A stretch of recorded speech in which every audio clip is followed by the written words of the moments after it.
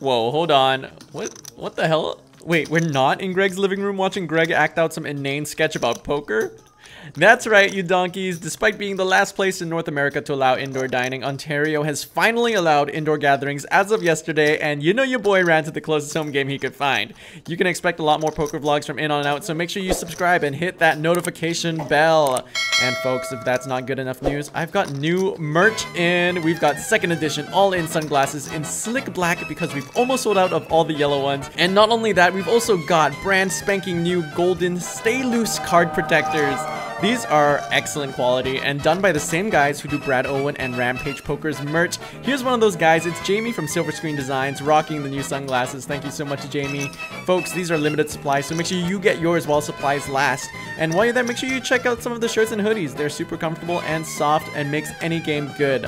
All right, that's enough capitalistic self-promotion. Let's play some poker. 1-3 game and we buy in for $300. Okay, we start off the night folding we fold a lot and a lot of hands because that is poker. And if you're thinking greg wow come on your motto is stay loose play seven deuce. If you haven't figured it out by now that's not for me. That's for you guys. That's for the other people at the poker table with me. I'm gonna play tight i'm gonna play right because courtney taught me right.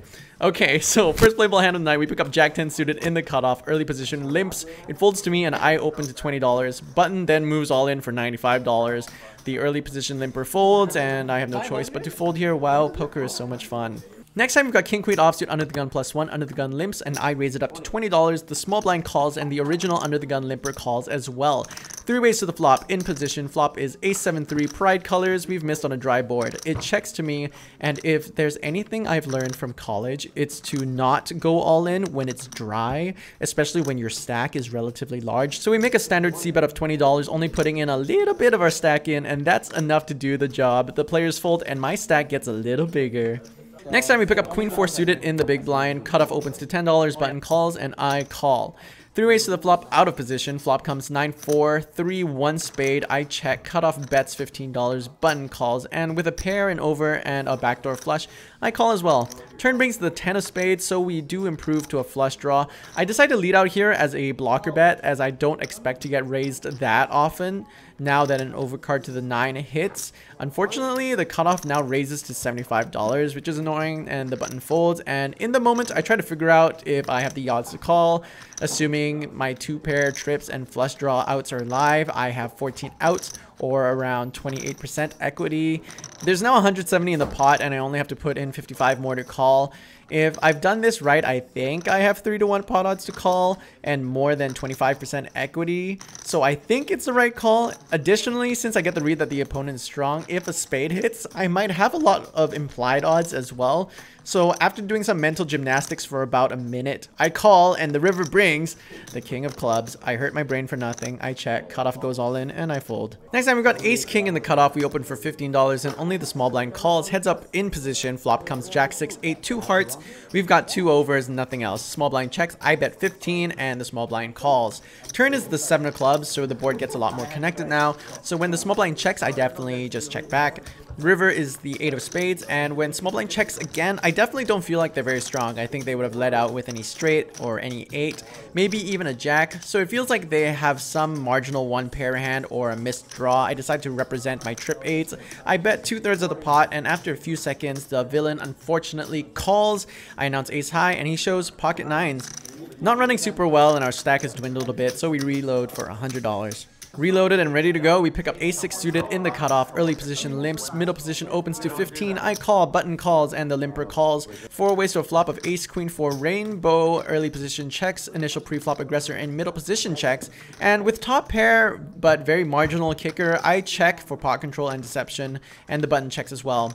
Flop checks through. Turn is the nine of diamonds. We have top pair and the nut flush draw. Early position now leads out for $22, middle position folds. I don't really see any point in raising here. Like if I raise, I feel that only stronger hands than my ace are calling and I'd only be inflating the pot for a flush that I'm not likely to hit. So we happily just flat with our top pair and our equity. River is the queen of clubs, now early position checks and I just check it back. Villain shows king four for a pair of fours. I show my ace and we take it down. Only got one suited value with my top pair. Maybe I missed some value on the river by checking. Always happy to hear your thoughts and feedback. I definitely need it. Big Slick slicked big on us last time, but we've got Big Slick once again. We open to $15 under the gun, late position calls, and big blind calls. Three ways to a flop of ace something something, I don't remember. I just make a C bet of 25, and both players fold, so a little tiny pot for us with Big Slick. Next time we downgrade from ace king off to king queen off, low jack opens to 15, I call in the cutoff, heads up in position to a flop of a 4-5 king 2 diamonds, preflop aggressor checks, I bet 10 and he calls. Turns the 8 of hearts, after preflop aggressor checks, flop and now turn, I really don't feel like they have much. I don't have many draws to protect against, and I typically only like getting two streets of value with top pair hands, so I check back for pot control and deception. River comes the 9 of spades. When he checks once more, I bet on the larger side, betting 35. I want it to look like I have a missed flush draw, or I'm just trying to steal the pot after he's checked all three streets. No, it's yeah, like, if you like a bluff catcher, but, uh... I fast roll my king, it's good, and we scoop the pot. Biggest pot of the night, buckle in, folks. After an under the gun limp, we open to under the gun plus one to $18. We get no respect, and we get four callers. Fuck my life, off to a flop we go. The flop is ace, ace, 10, two spades. We drill trips multi-way. My life is freaking great. Checks to me, and yes, I have trips trips, but with my marginal kicker, I check for pot control and deception, and it checks around. Turn is the king of hearts. When it checks to me again, I make a big bet of 70, targeting anyone with a king, and only the big blind calls. River is the six of diamonds. Big blind checks to me once more. Really feels like they have a king here, and I go for the overbet shove. I shove for around 289 into 240. I hope it looks like a missed spades draw. I'm praying that this player calls with his king. He shouldn't think I have an ace after checking the flop. Let's check in with some table talk.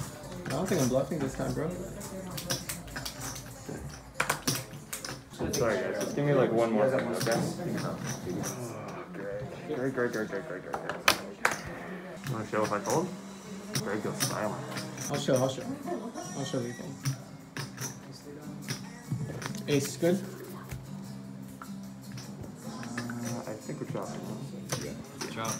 Wow. well, that sucks. I'm chopping it up with trips. I really didn't expect him to have an ace there and tank for that long with it, especially when I check flop. Uh, unfortunate chop there. Unfortunate chop. And guess what? Now we're tilted. And what's the best thing to do when you're tilted? That's right, it's play a double board bomb pot. Everyone puts in $10 pre-flop and we go straight to two flops and two runouts. I throw in a pair of all-in sunglasses as well just for fun. Uh, straight up, I played this like shit and was tilted after chopping the last pot. I don't really have detailed notes on this hand. I only took notes on the flop basically because I uh, just kind of packed up and left with my tail between my legs right after this. But basically, I have queen 10 of diamonds. Board came jack 6 ace brick brick and 4 10k brick brick. I got strung along with my gut shot and second pair and eventually on the river, the villain moved all in. I gamble, gamble, hoping he's only strong on the top board, and I'm maybe good with my second pair on the second board. So I call, and the villain shows King 10 for top 2 on the bottom board, and King High on the top board, and he scoops the entire thing. Wow, that really sucks. Call, call. King 10. How can you call him with that? Nice one, nice one, nice one. Nice one. I'm surprised you I know, I know. Well, it can only go up from here. Stay loose, play 7 deuce. I'll see you next time. Hey, thank you all so much for watching and making it all the way to the end. Quick reminder that my meetup game is happening in Toronto this Tuesday. We'll be playing the 7 Deuce game. I'll be selling merch and Courtney will be there too. So make sure you join my Discord server for more information. Link in the description below. And speaking of Courtney, since we're going to start traveling and playing poker all over the world soon, she started an Instagram page called Courtney Goes. So make sure you simp for her. I mean, follow her there. Thank you all from the bottom of my heart for being here and I hope you all have a great day.